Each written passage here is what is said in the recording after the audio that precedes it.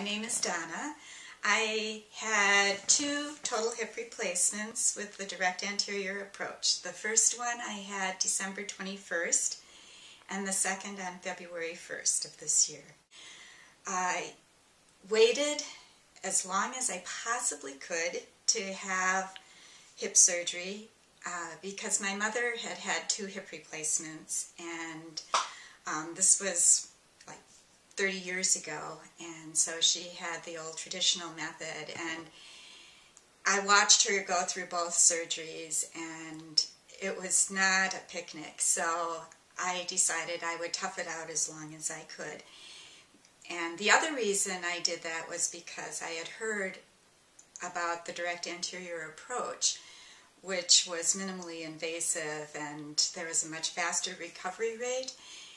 And I have a son who is very busy, and I thought if I have to spend six months recuperating from each surgery, that was not going to be doable with an 11 year old. So my life was centered around a leave, you know, when I could take it. And so I went in on December 21st, and I think because I was in so much pain before I went in, that when I came out of surgery, it was like the pain was gone. And it was like a miracle. And when they said, well, let's get you up and see if you can walk, it was like, ah, that's no problem, you know.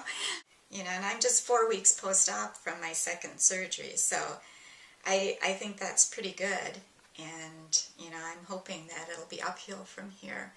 I notice every day I'm able to do more, and um, yesterday I got the go-ahead to be off my cane, so I'm really excited. Uh, last summer I did a garden, and you know, it was difficult planting it.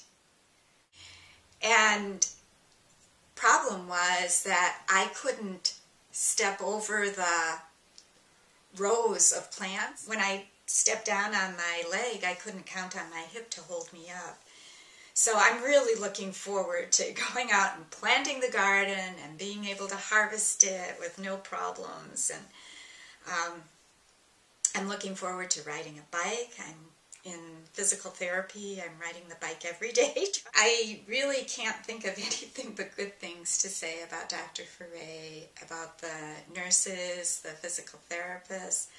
Um, I had my surgery at Grafton, Aurora Grafton, and um, both times, I mean, they were amazing. Now, I, I think perhaps people wait longer than they should because they're afraid, and I think we have so many options. I mean, direct anterior approach was definitely the right way for me to go because of my needs, but there are lots of other methods that are minimally invasive and, you know, may work just as well or better for other people.